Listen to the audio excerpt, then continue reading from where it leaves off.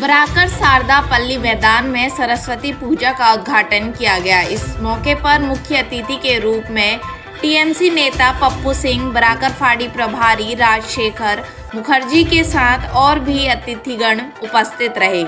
पप्पू सिंह और प्रभारी राजशेखर मुखर्जी ने फीता काटकर पंडाल का उद्घाटन किया। कुल्टी से वसीम खान की रिपोर्ट। आज बराकर बराकर के शारदा शारदापल्ली में व्हाइट टाइगर के द्वारा एक सरस्वती पूजा हर साल की तरह हो रहा है, जिसमें इस पूजा में मेला का भी आयोजन होता है। मेला में खासकर बच्चों का मेला के प्रति बहुत उत्साह और महिलाओं का रहता है, क्योंकि इस इलाके में क्षेत्र में मेला धीरे धीरे खत्म होते जा रहा है।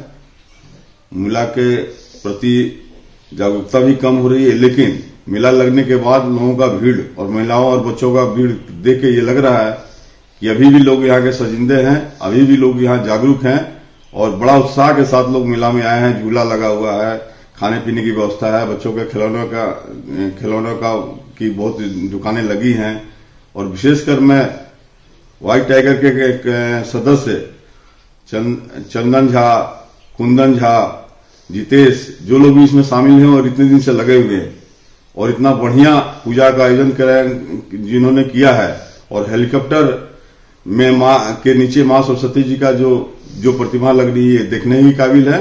इसमें बराकर के बड़ा बाबू का भी विशेष योगदान है। वो भी हमारे बीच राजशेखर मुखर्जी जी आए हुए हैं।